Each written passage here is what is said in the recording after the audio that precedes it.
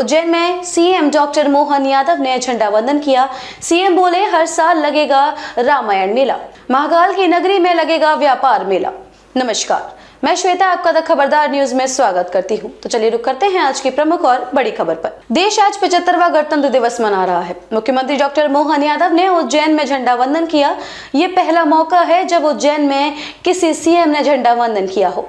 बाबा महाकाल के तीनों रंगों से श्रृंगार कर भस्म आरती की गई। सीएम ने कहा, एमपी में हर साल रामायण मेला लगेगा। उज्जैन में व्यापार मेला लगाया जाएगा। प्रदेश की राजधानी भोपाल में राज्य स्तरीय कार्यक्रम में राज्यपाल मंगूभाई पटेल ने ध्वजारोहण करने के बाद परेड की सलामी ली। अपने अभिभाषण में राज्यपाल ने प्रदेश सरकार द्वारा किए जा रहे कार्यों और अयोध्या के राम मंदिर का ज़िक्र भी किया। उप मुख्यमंत्री जगदीश देवड़ा ने मंदसौर और उप मुख्यमंत्री राजेंद्र शुक्ल ने रीवा में झंडा वंदन किया है। विधानसभा अध्यक्ष नरेंद्र सिंह तोमर ने मुरैना में तिरंगा फहराया है।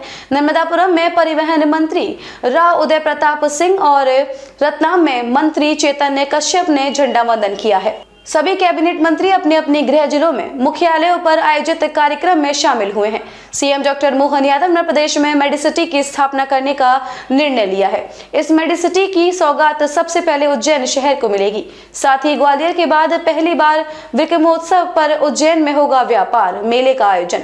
खबरों में अब तक के लिए बस इतना ही। फिर होगी आपसे मुलाकात ऐसी किसी बड़ी और खास खबर के साथ। तब तक के लिए नमस्कार और देखते रहिए द खबरदार न्यूज़। अगर आपको वीडियो पसंद आई हो तो वीडियो को लाइक करें शेयर करें और हमारे चैनल को सब्सक्राइब करना ना भूलें।